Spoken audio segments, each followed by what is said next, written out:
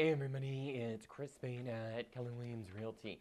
Listen, I wanted to talk to you about three of the zip codes I specifically work in here in San Diego.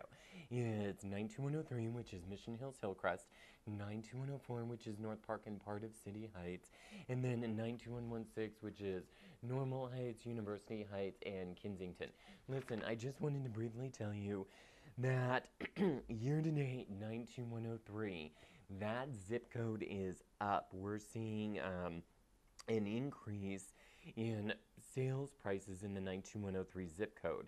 Now, it's not exactly the same in 92104. In 92104, we're seeing almost a $100,000 decline in home prices. And as you all know, if you're familiar with the area, those two zip codes are right next to each other. They're neighboring, and they just basically squeak by one street. And then we dip into 92116. Now, the median price for a home in 92116 this year is 412,500 compared to last year it's 389,450.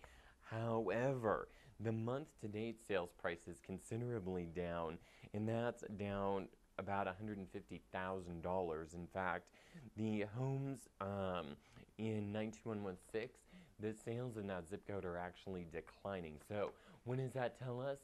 Now is the time if you're a seller to get your home on the market if you're in one of those declining zip codes because you don't want to miss an opportunity to gain as much money as you can on the bottom line.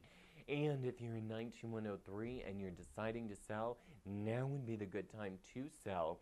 And that's because you're going to get more, more money in your pocket.